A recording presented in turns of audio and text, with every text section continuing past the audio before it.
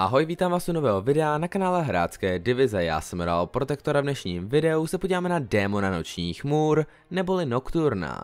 Nocturn je docela nebezpečným démonem, jehož příběh se i dost váže k Zedovi kvůli stínové magii a zároveň má také Nocturn příběh, ve kterém se objevuje i Garen a Lux. Nocturn je samozřejmě démonické stvoření, které jak víme přežívají na emocích ostatních, přičemž Nocturn to využívá v skutku zajímavě. Teď se již pohodlně usaďte a pojďme na to. Každá magie může být nebezpečná a nepředvídatelná, avšak určité části magie považují i ti nejzkušenější z čarodějů za tabu. Už po staletí je na Runteře zakázáno používání stínové magie kvůli obavám, že by se znovu mohly probudit hrůzy, jež už jednou devastovali svět. Největší z těchto hrůz byl Nocturn. Okolo konce runových válek se spolky válečných mágů snažili získat nad svými nepřáteli nějakou výhodu.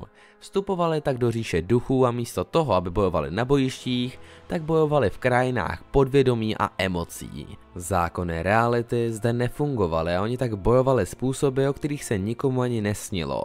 Dokonce vyvolávali přízračné zabijáky, kteří dokázali plnit jejich rozkazy. Z důvodu rozšíření této magie se stalo, že v jedné chvíli naprosto ovládli říši duchů, přičemž to zapříčinilo jí soumrak. Tato temnota si našla cestu ke každému ze smrtelníků a vysávala jejich morálku skrze jejich sny.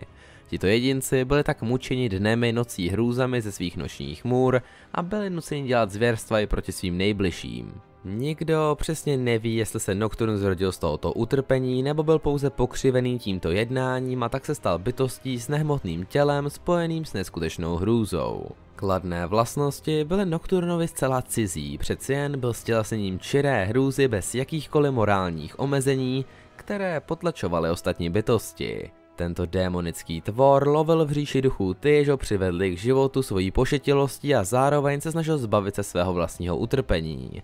Z této jeho bolesti se stala živná půda pro jeho neskutečnou krutost. Strach smrtelníků bylo něco, co mu velice lahodilo a taky přesto, že v jeho světě neexistoval čas, tak se snažil své lovy prodlužovat co nejdéle, aby si mohl co nejvíce vychutnat strach svých obětí, načež jedinou ranou ukončil jejich život. Brzo se tak stalo, že už se nikdo neodhodlal vydat do Nocturnovy říše. Kdo ví, jestli by runové války skončily jinak, kdyby se tento démon neobjevil. Je však jisté, že po tomto období se veškeré vědomosti o stínové magii schovaly a její používání bylo pod trestem smrti. Nocturn tak v říši duchů začal hladovět, protože do jeho říše nikdo nepronikal. Jediné, co se tak nějak podobalo jeho dřívějším hostinám, bylo to, když smrtelníci zatouvali do jeho říše, když spali. Proudy magie tak následně zavedly Nocturna do míst, kde se oba světy prolínaly a kde mohl krásný sen proměnit v noční můru, přičemž objevil způsob, jak proniknout do fyzického světa. Nocturne teď žijícím stínem, který je zlověsným odrazem těch nejničernějších hrůz obyvatelů Runtery, přičemž před ním není nikdo zcela v bezpečí. Nocturne spolehlivě vycítí každou slabost ducha, kterou by mohl proměnit ve smrtelnou hrůzu a věčnou temnotu. To je tedy základní příběh Nocturna, kdy vidíme jeho vznik jakožto démona díky utrpení a také následnou specifikaci na lidský strach ve formách nočních můr, což je to hlavní, co ho odlišuje od zatím nejmocnějšího známého démona, neboli Fiddlestickse. Samozřejmě, jak už někteří z vás určitě tuší, tak ona stínová magie bude mít co dočinění se Zedovou stínovou technikou, což samozřejmě znamená, že se Zed bude muset eventuálně setkat s Nocturnem, protože Nocturn není zrovna fanouškem toho, když někdo používá jeho říši. Teď se tak ještě podíváme na dotečný příběh Nocturna s názvem Dveře stínu. Abel chtěl po svém otci, aby mu přečetl ještě jeden příběh, avšak ten už mu přečetl dva a byl čas na spaní.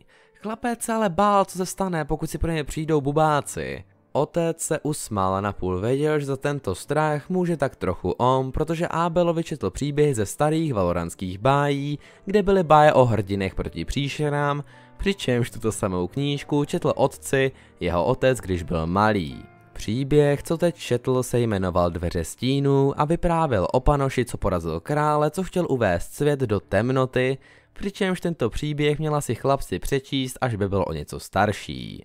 Řekl mu tak, že to je jen pohádka a že nic z toho není skutečné. Chtěl mu následně dát pusu na čelo, ale chlapec se odtáhnul.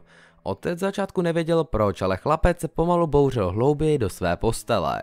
Deka se sevřela okolo chlapcova těla a postupně se přeměnila na jazyk. Otec pevně chytil svého syna a nedařilo se mu ho dostat ven.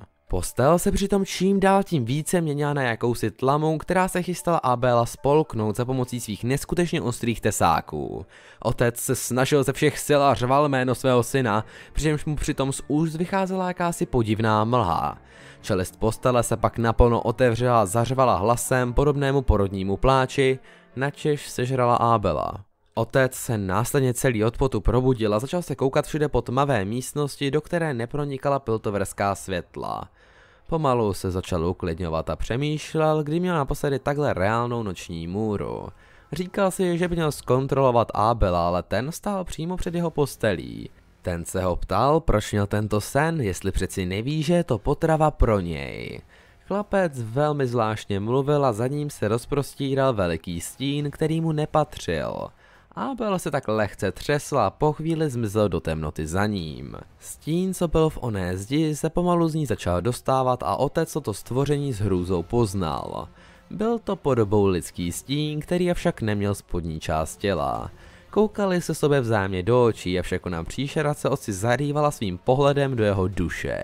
Každá buňka v otcově těle chtěla okamžitě utéct, ale jeho mysl ho dokázala zcela paralizovat kvůli té bytosti ze starých pájí. Ten tvor následně otevřel svá ústa, načež na otce promluvila jeho vlastními myšlenkami, které byly, co je sakra zača, jak se sem dostal. Nocturn tak přiletěl přímo na dně jeho paže se protáhly do ostrých děsivých čepelí. Otec se nemohl ani lehce pohnout při pohledu na noční můru, která teď byla přímo nad ním. Pak mu Nocturn zašeptal odpověď na jeho otázku, načež mu probodl srdce. Odpověď zněla, ty.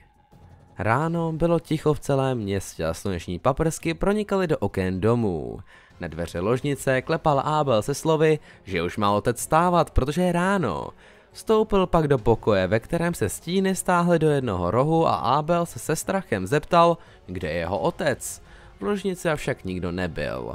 Abel si tak odkašlal, přičemž si nevšiml mlhy, která mu u toho vzešla přímo z úst a následně šel zpátky na chodbu. To je tedy dodatečný příběh, kde vidíme, jak se Nocturn krmí na svých obětech a je jasné, že si eventuálně přišel i právě pro Abela. Nocturn je stělesněním právě určitého strachu, který představují noční můry, což z něj dělá takového Freddyho Krugera ve světě Runtery.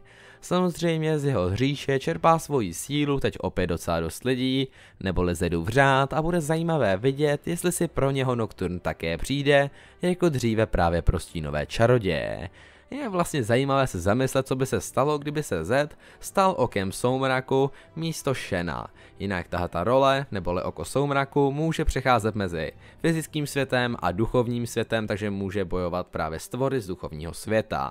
Protože v té chvíli by byl vlastně Zed schopný s Nocturnem bojovat i v říši duchů a mohl by tak ho porazit na dobro, i když jako vím, že to je spíše příběh pro alternativní realitu, protože v této časové lince je okem soumraku právě Shen. Pokud se vám tak video líbilo, můžete dát like a pokud se vám líbí má tvorba, tak je odběr, aby vám neutekla žádná nová videa. Jo a taky máme Twitch kanál, kde si můžete přímo i pokecat o lore nebo o čemkoliv jiném, třeba o mém světě droidera fantasy máte odkaz v popisku. Pro dnešek to takyž bude vše a do příštího videa, čus.